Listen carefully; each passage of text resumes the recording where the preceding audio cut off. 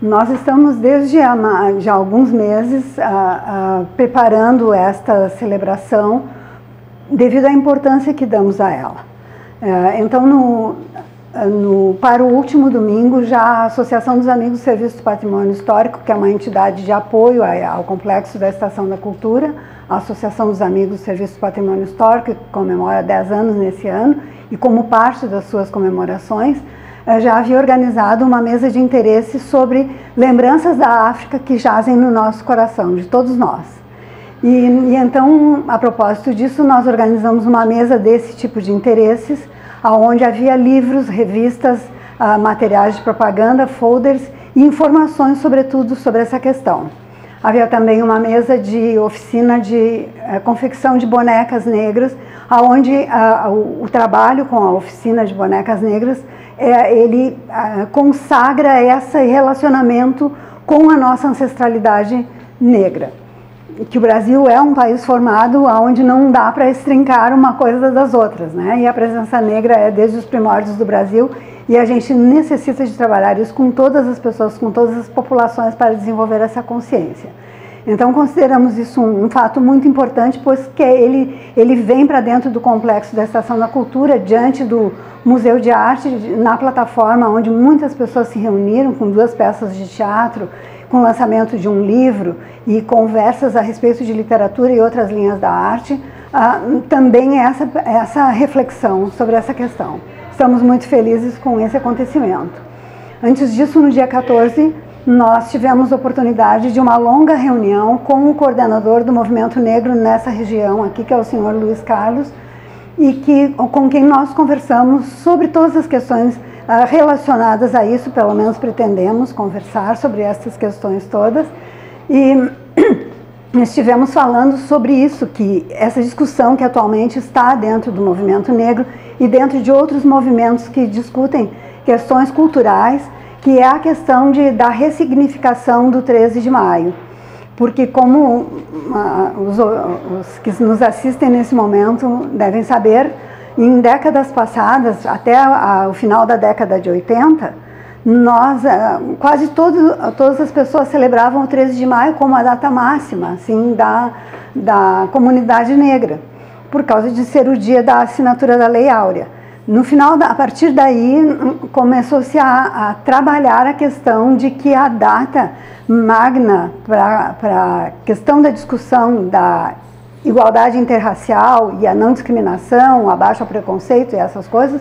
não seria essa sim o 20 de novembro. Uh, tanto é que agora essa data tem foros até de feriado em algumas cidades. E nós também nos associamos a, essa, a esse estudo, a essa ao trabalho com relação a essa questão desde aquela vez. E então, na atualidade, se fala de uma coisa que parece ser o contraditório, mas não é.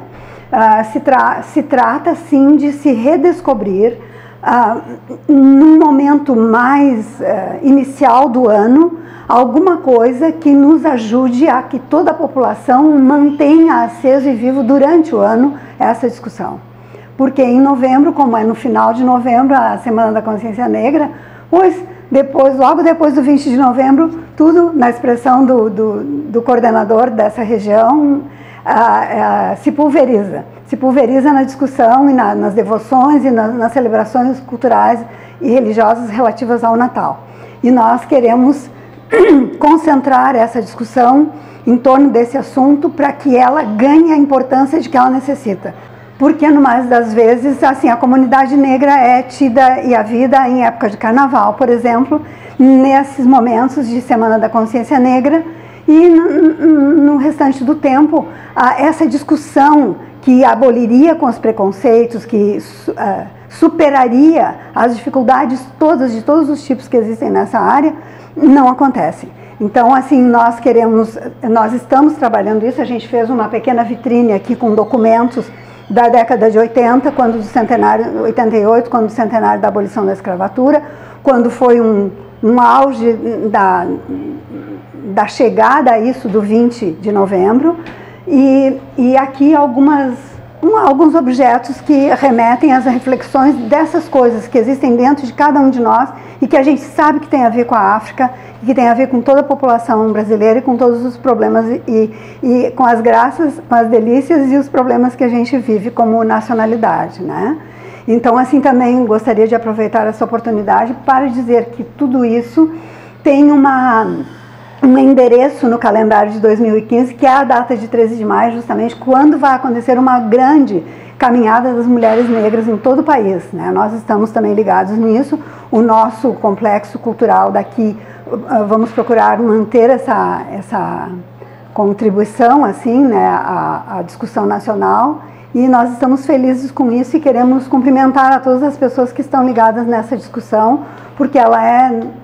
da maior importância e nós precisamos também aqui na DIPAC de que as pessoas cheguem aqui e visitando essa pequena mostra, talvez possam participar assim de uma reflexão, deixando nesse, nessa folhinha de perguntas aqui sobre a mesa uma folha de perguntas, quaisquer, que foram trazidas de um encontro sobre a justiça e o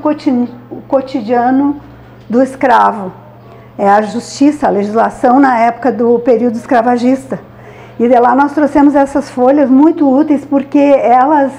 têm algumas pessoas que querem escrever perguntas, tem perguntas sobre isso. Pois se alguém tiver perguntas sobre isso, com muita alegria nós queremos receber nesses pequenos papéis aqui, que estão nessa vitrine na sala da Associação dos Amigos do Serviço do Patrimônio Histórico, onde tem esta vitrine de manifestações de arte popular.